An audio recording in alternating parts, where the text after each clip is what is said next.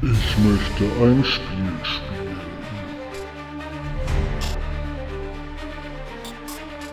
Das Spiel beginnt.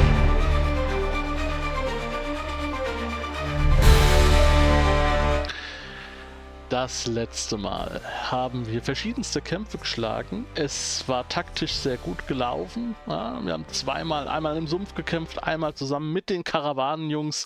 Aber so langsam sollten wir mal ankommen, denn wir haben hier einfach nur 110 Goldstücke, die wir für diesen Auftrag bekommen und zwei Goldstücke pro Kopf. Also das hat sich jetzt noch nicht gelohnt. Was? Wieso sind denn hier nur drei? Jetzt kommt hier schon ein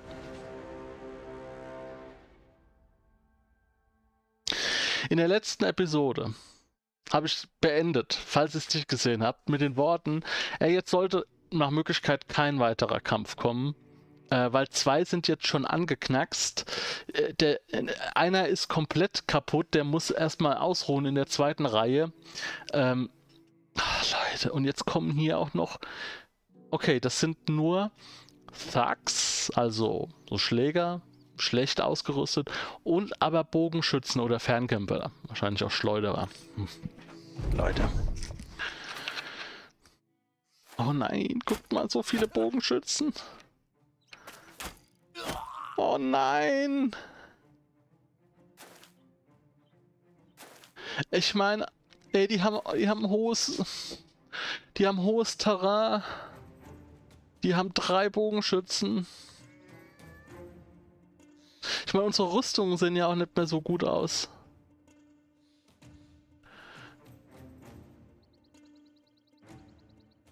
Oder? Ja, 62 pro 7 Prozent.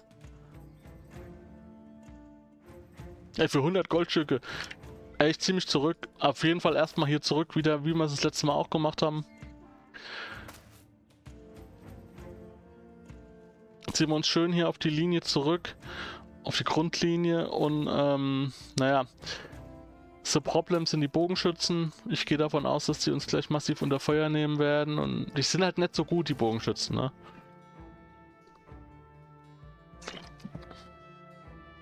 Das ist der Vorteil.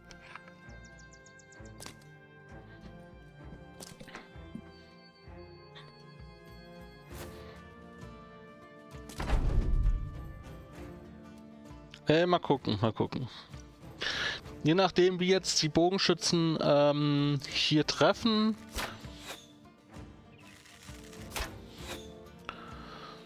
Die können halt, die können halt jetzt sechs Schüsse machen im optimalen Fall, vor allem halt mit, na wohl, der, der schießt jetzt gerade nicht vom hohen Gelände, der schießt jetzt gerade vom Boden aus, das ist ein bisschen doof. Aber gut.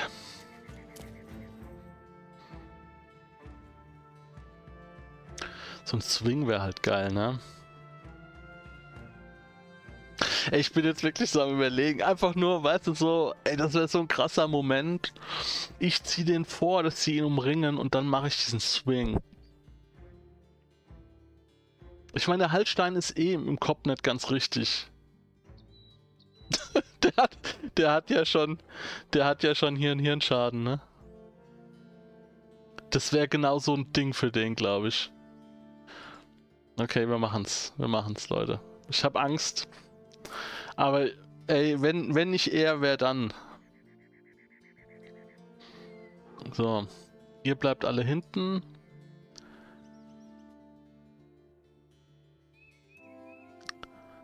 Warum schießen die nicht? Was ist denn hier los? Warum kommen die nicht? Kommt! Das ist keine Falle. Ja, okay, ich verstehe. Die kommen nicht, weil sie Fernkampfvorheit haben. Die haben den Hügel und äh, aber die wollen doch eigentlich von uns die Beute. Wenn ich jetzt reingehe,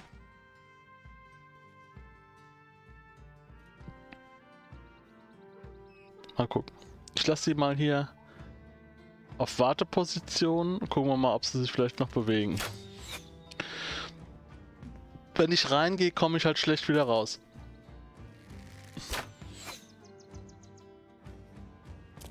Okay, die ziehen sich sogar zurück. Okay, dann ziehen wir uns auch wieder zurück. Ne? Mit mir nicht.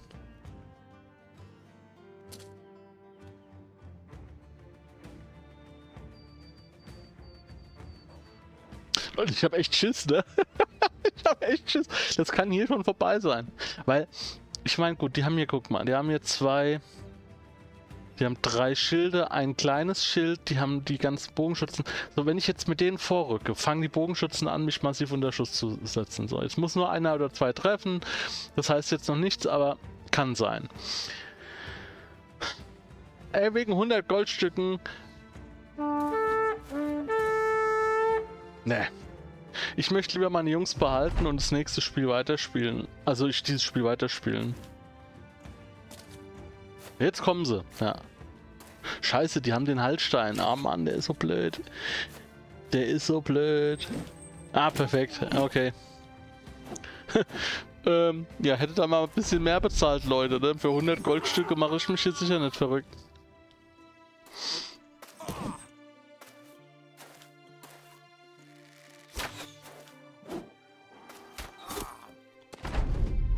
Was ich halt hier ein bisschen doof finde, ist, dass sie die Esel angreifen.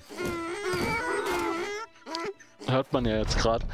Dass sie die Esel angreifen, das ist total bescheuert, weil äh, die brauchen die Esel und die Karren ja unter Umständen, um, um, um ihr Diebesgut wegzuholen, ne?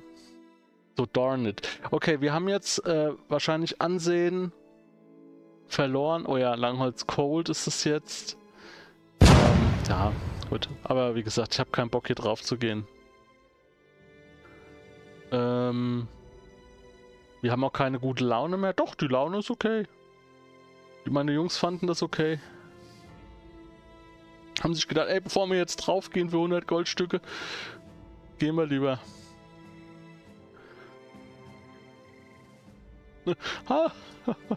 ja, Leute, guten Tag, äh, Lohnberg. Ihr kennt uns nicht, aber wir sind eine sehr gute Truppe. Ne?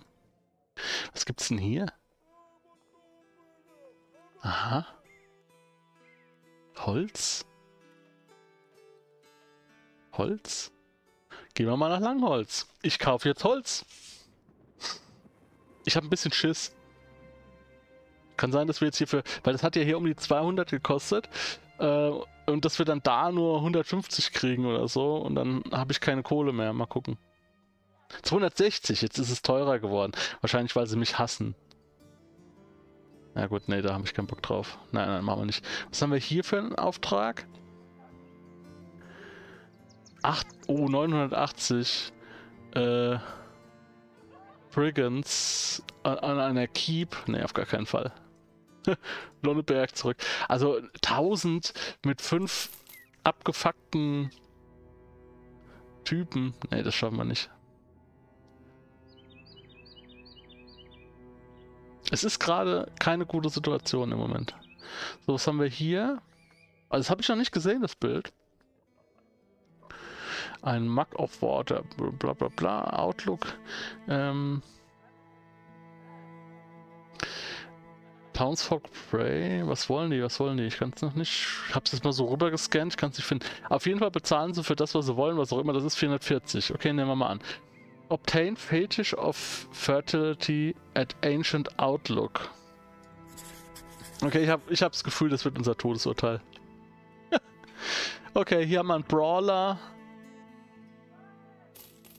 Der hat keine... Nehmen wir mit. Komm, nehmen wir mit. Wir brauchen jemanden. Wir nehmen noch ein bisschen Lebensmittel mit. Oh, das ist ja gut. Hier kosten die... Ähm, die Medizin ist hier günstig. Ja, also wenn wir das jetzt hier schaffen, könnten wir uns schön mit Medizin noch aus, ausdecken. So, eindecken. So, der hat schon mal 103 äh, Fatigue, das ist gut. Wir haben hier einen Nahkampfangriff, das ist auch gut. Guten Nahkampfangriff.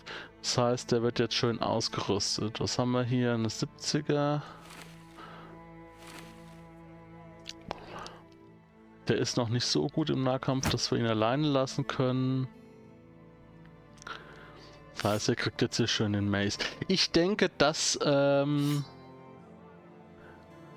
dass uns jetzt irgendwelche Untoten oder so erwarten. Und dann nehme ich lieber mal so Trümmersachen mit hier. Aber auch nicht die, Ja, nehme ich lieber so Sachen, womit wir dann mal richtig schön trümmern können.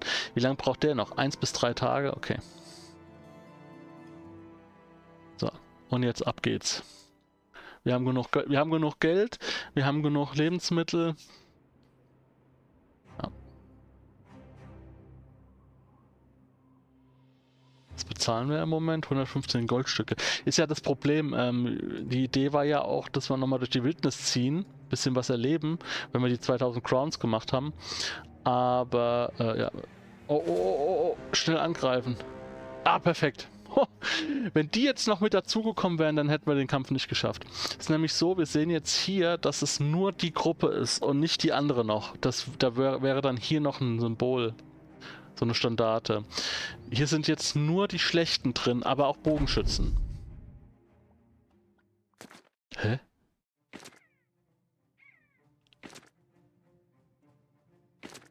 Das sind aber auch Skelette.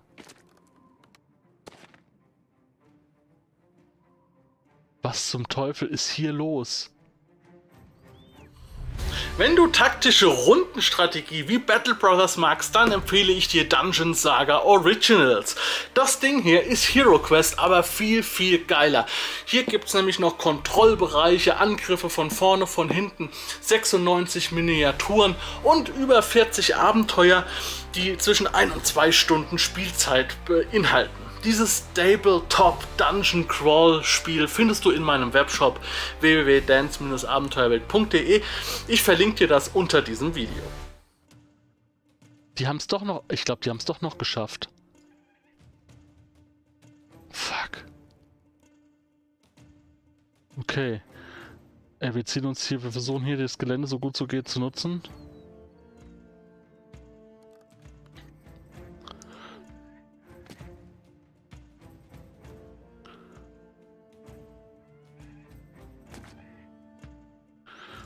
Hier geht jetzt hier unten rum. Ah, okay, die kämpfen auch gegeneinander. Die Skelette greifen alles an, was sich bewegt.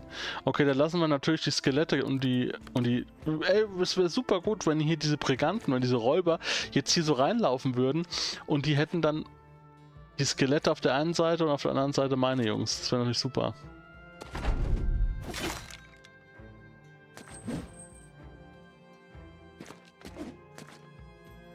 Okay, wir werden natürlich jetzt auch äh, nicht zu lange warten. Wir wollen natürlich jetzt diese Situation gut ausnutzen. Der Typ hier, wenn ich jetzt hier reingehe, kann ich natürlich von drei Seiten angegriffen werden. Aber der Typ hat halt nur so ein Kopftuch. Und ich habe hier eine Kopfwaffe. Ich muss gucken, dass ich den schnell weggebolzt bekomme. Gucken wir mal, dass wir hier doch äh, ein bisschen einen Vortrag machen.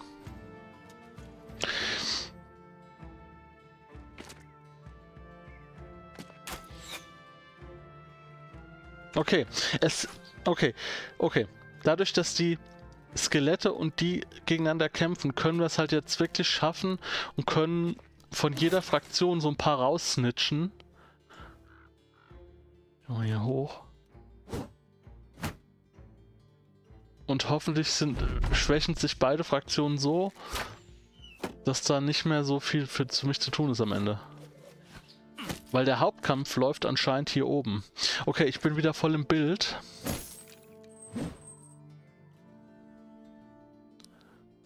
Es ist hier echt immer, immer schwierig. Okay, Leute. Hier passiert nicht so viel. Gut. Also. Den machen wir jetzt schön platt. Jawohl. Okay, gut. Jetzt direkt vorne, nach vorne angreifen.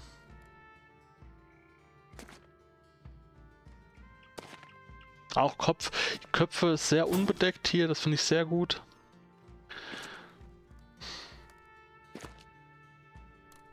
Okay, Hallstein, du musst dich hier um die Skelette kümmern. Hm, wen geben wir denn noch dazu? Den Jost? Na, der Jost hat... Wir geben den, wir geben den Erik dazu. Weil der Jost, der hat schon äh, sehr viel Belastung. Und äh, der Jost ist auch, zudem auch noch äh, sehr gut gelaunt. Dann lassen wir den jetzt erstmal hier hin und dann ziehen wir gleich, gleich nach. So. Perfekt.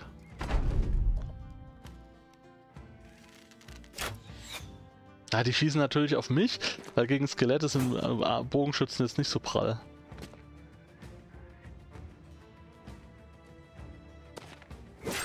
Jawohl. Oh, der ist fast tot.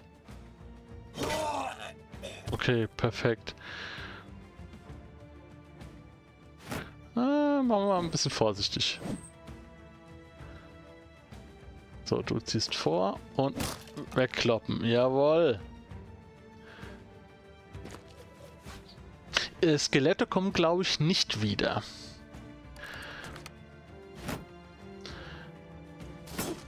Aber ich bin mir nicht sicher. Also Zombies, Zombies können wiederbelebt werden. Bei Skeletten glaube ich nicht. So, jetzt gehen wir hier nach vorne, damit der hier, der Bogenschütze, nicht schießen kann. Perfekt, und weiter geht's. Weiter rücken. Weil der Bogenschütze, der wird jetzt erstmal die Waffe wechseln. Das ist gut. Ah, oh ja, sogar noch besser. Geswitcht. Jetzt ist der andere da. Okay.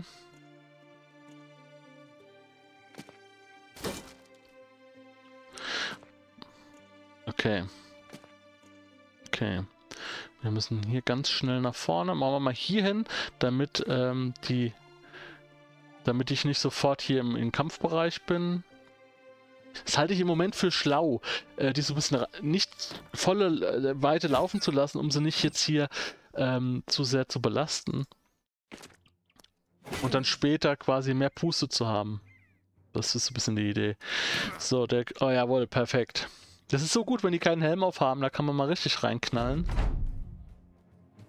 Der Typ ist nämlich jetzt hier Stunt, also der hat, ähm, der hat einen Schlag auf den Kopf bekommen, das bin benommen. Das natürlich sehr gut ist. Dann würde er zum Beispiel, wenn er jetzt das Schild hoch hätte oder so, dann würde er das, diese, diese Schildhaltung verlieren. Ähm, ich glaube, der verliert auch äh, einen Zug, also eine Aktion. So, hier oben müssen wir aufpassen. Das gefällt mir gar nicht. Vor allem, weil jetzt er hier so eingekesselt ist. Da müssen wir jetzt gucken, dass wir jetzt so schnell wie möglich hier durchsprechen. Seht ihr? Der kann jetzt nicht angreifen. Perfekt. Leute. Es ist jetzt eigentlich, jetzt geht der Kampf erst los, weil die, die Skelette sind jetzt weg. Oh ja, die Bogenschützen haben auch keinen Bock mehr.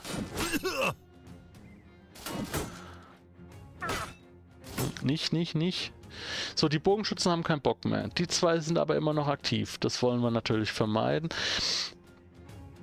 Wir zischen mit dem einfach mal so richtig schön hier hinten hin. Da können wir dann gleich auch die Bogenschützen hier noch angreifen. Und tschüss! Da fliegt der Kopf. Ja, Leute, das ist doch vorbei. Hoffe ich. Okay. Was machen wir mit dir? Ja, hast zu, aber du kannst nichts. Jost, du hast zu wenig Power.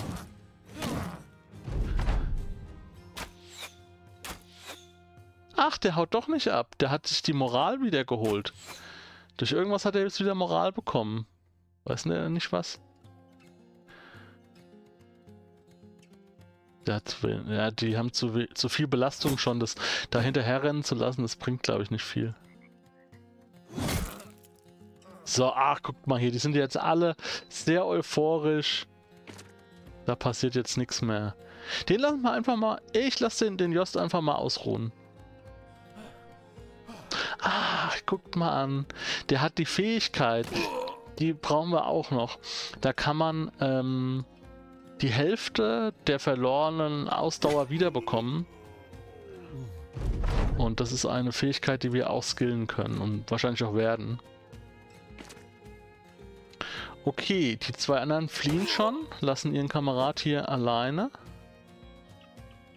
Ja, ohne schon. Es macht keinen Sinn, jetzt da hinterher zu rennen, glaube ich. Der Bogenschütze wird jetzt sowieso... Zack, it's over. Lassen wir so. Machen wir kein Risiko. Aber Loot ist da. Ne? Loot ist da. Ein gut, so ein Ancient Helm haben wir. Die Helme von den Untoten, die sind sehr schwer, haben aber meistens noch eine ganz gute Rüstung. aber die ziehen auch meistens Vision ab. Ich sehe jetzt ja, Vision minus 1 ist nicht so, nicht so gut, aber für vorne ist es auf jeden Fall okay. Auf jeden Fall für die Anfangszeit. Ja, hier zum Beispiel. Was haben wir denn hier so an Belastung? Unser neuer Kamerad zum Beispiel. Ähm, das ist 3 Fatigue. Und das ist 8. Das sind gleich 5 mehr, ne? Das wird der hier, wäre das zum Beispiel, für den wäre das interessant. Ja, der hat noch ganz gut Ausdauer.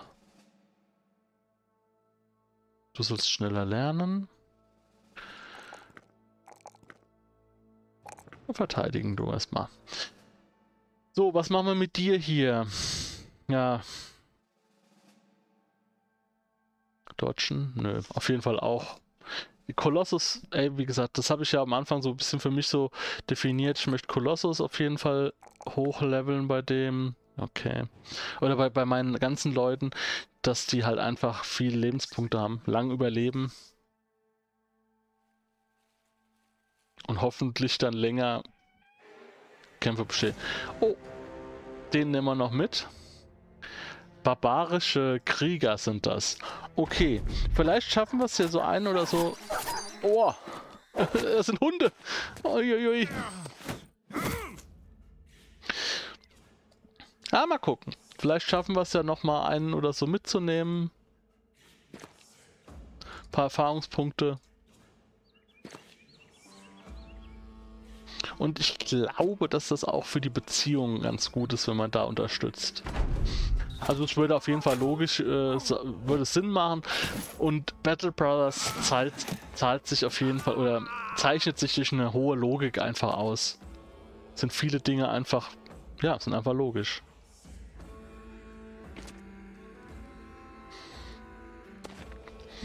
Kann man oft ganz intuitiv sagen, wenn sowas in der Realität ist, ist es hier auch so.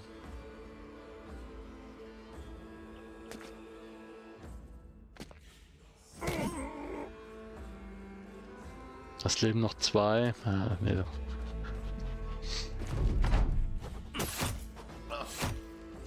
Ich habe jetzt gesehen beim Hand of Blood, der hat es ja auch mal eine Zeit lang gespielt.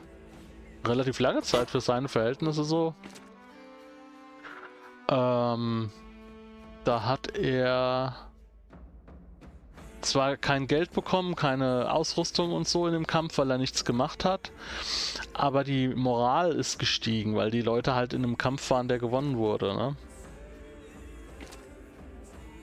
Also selbst wenn jetzt hier nichts mehr rausspringt, das können wir auf jeden Fall noch mitnehmen. Weil es ist für mich eine relativ sichere Sache. Guckt euch das an. Der ist alleine. Alles sind tot und der ist trotzdem, hat eine trotzdem hohe Moral. Diese Barbaren sind der absolute Wahnsinn. Na, gehen wir mal hier hin.